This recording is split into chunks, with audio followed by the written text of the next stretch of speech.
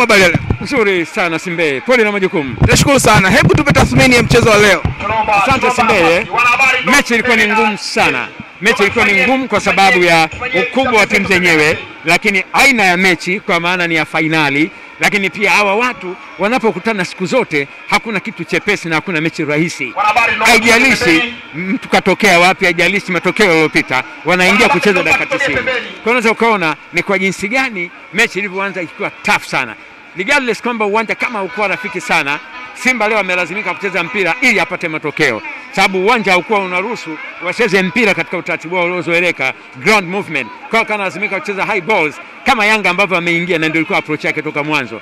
Wamecheza vile na Yanga akiwa nafika sana, sababu ali- aliwahi kuamua kucheza vile, kuingia kwenye box direct football. Simba akiwa anacheza mpira mwingi, akiwa anajaribu kutafuta ile culture yake na philosophy yake lakini haikuwezekana, na midfield ya Yanga ikawa imekuwa solid zaidi muda mwingi. Mifumo waliotumia Simba na Yanga ni kama ilikuwa inafanana, kwa eneo la katikati ilikuwa limejaa muda wote. Bahati mbaya sana Tonombe Mkoko baada ya kufanya foul ambayo haikuwa na lazima sana, kwa sababu mwamuzi ametafsiri sheria namba kumi na mbili fouls and misconduct. Baada ya kuangalia Boko amecheza foul, lakini kibaya, bahati mbaya Tonombe akawa emotional, aka overreact, akaenda kutumia nguvu zaidi, kitu ambacho angehatarisha afya na usalama wa mchezaji mwenzie John Boko. Kwa hiyo akawa awarded red card.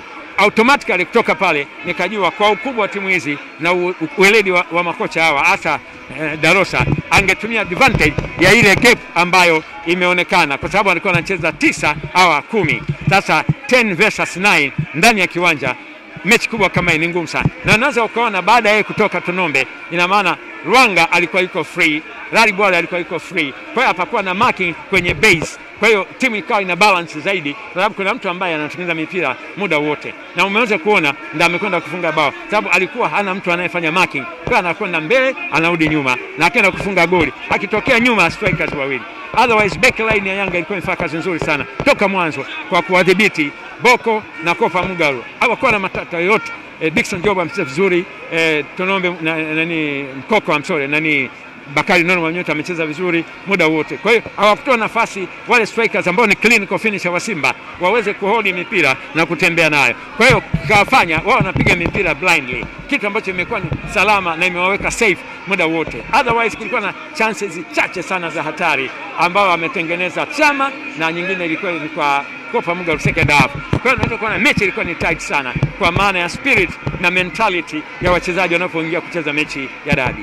Deo Lwanga dakika 79 ndio amesababisha maumivu kwa upande wa, ya, wa ya, ya Yanga, na baada ya kufungwa goli hilo Yanga walionekana kurudi sana nyuma. Unafikiri hicho ndio kilichowagharimu ku- kuto kwenda mbele sana, wote kurudi nyuma?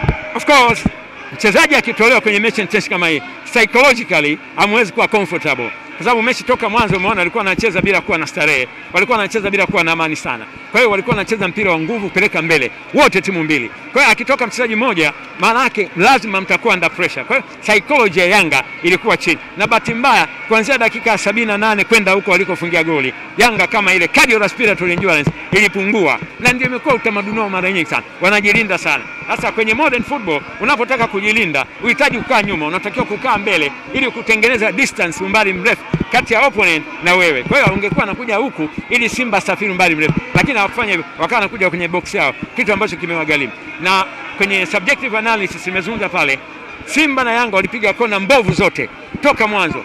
Yanga amepiga kona mbovu, Simba amepiga kona mbovu, lakini kona moja imetoa matunda kwa sababu walikuwa wanacheza mipira ambayo haikuwa na faida sana. Nimeshuhudia mtu anapiga kona anakwenda nyuma, lakini hiyo kona moja imewagharimu na ndio imezaa bao, na kitaalamu anasema asilimia 30 28 mpaka 38 set pieces ni mabao. Kwa hiyo mkiwa mmejipanga vizuri, mnaweza mkanufaika, unaweza kuwa na goli lilopatikana ni kwa ajili ya dead ball, kwa hiyo imewasaidia na wamequalify. Tumalizie na hili la uh, Benson Morrison ku, ku, kuingia uh, baada ya kumaliza mchezo na kuondoa ile bukta, labda hii kinidhamu na kisoka ikoje? Mimi niseme Watanzania lazima tusimamie maadili yetu, na viongozi wa timu wasishabikie na kufurahia matendo kama yale.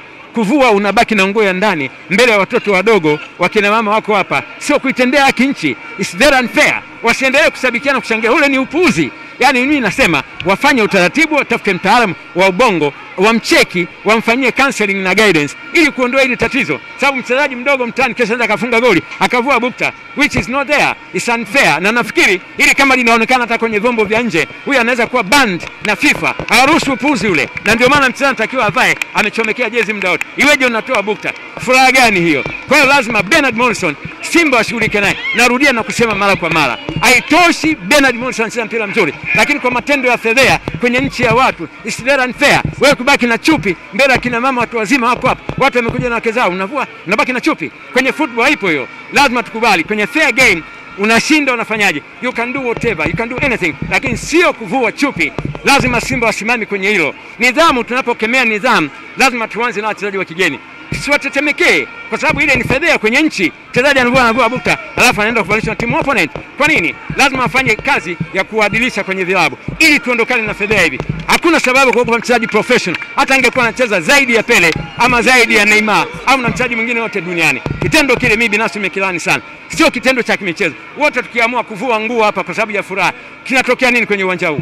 Haifai, ni, ni mbaya sana. Simba viongozi, narudia, wa take initiative kuzungumza na Morrison, watafute wataalamu Muhimbili wanaodili na brain, wadili na Bernard Morrison, waende University of Dar es Salaam kwenye faculty ya sports, watafute walimu wa psychology wamsaidie. Hawezi kudhalilisha nchi, unavua bukta, Siaji wote wangevua bukta, inakuwaje? Mambo ya, ya kipuzi, mambo ya fai, hata angekuwa analipwa hela ngapi?